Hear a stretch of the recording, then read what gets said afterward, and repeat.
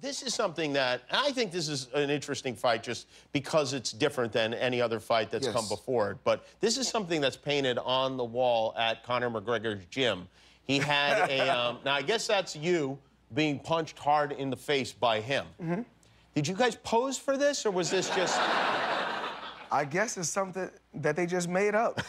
something they made up? Do you think they're going to paint over that when it goes as we everyone seems to I'm think it's going to sure. go? I'm pretty sure. Yeah. Pretty sure. You should buy that gym from him and knock it down with a wrecking ball.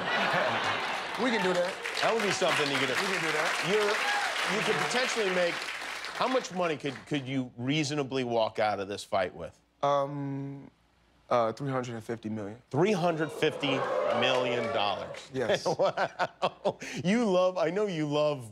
You love money, right? I mean, I mean, it's cool. It's cool. yeah. It's cool. Who? How did you get the nickname Money? Did you name yourself Money, or was somebody else? Uh, they just started calling me it. They just started calling it. You sir. always have a lot of money with you. A little bit. Yeah, I have a picture of uh, this is from Instagram. You're on a, a what looks like a private plane, just with a whole No, my private. your private plane. Sorry, um, with a whole lot of money and uh, it looks like a couple of um, bowls of ketchup, maybe also. No. Are you eating are this cup, money? Those are cup holders. Oh, those are cup holders. okay. Okay. Sorry, I don't have a private plane. Uh, but you, oh, you didn't flew on. What do you do with all this this money?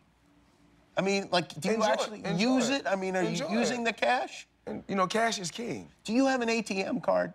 I'm the I'm the human ATM. How do you even get this much money? What do you do? Work hard. I know that. but like, do you go to the bank and say, I need all of it? I want all of the money in your bank. No, that's not what you do. You, you order it. You can order it. Oh, you can? And when you order a certain amount, when you order millions of dollars, a Brinks truck comes to your your home. Wow. Yes. Why not just drive around in one of those things? I did. I did have. At one particular time, I had a Brinks truck. You did? I sold it. Yeah. Who'd you sell that to? uh, another guy who loved money. Another guy who loved money. wow. Hi, I'm Jimmy Kimmel. If you like that, click the subscribe button below, and good things will happen forever.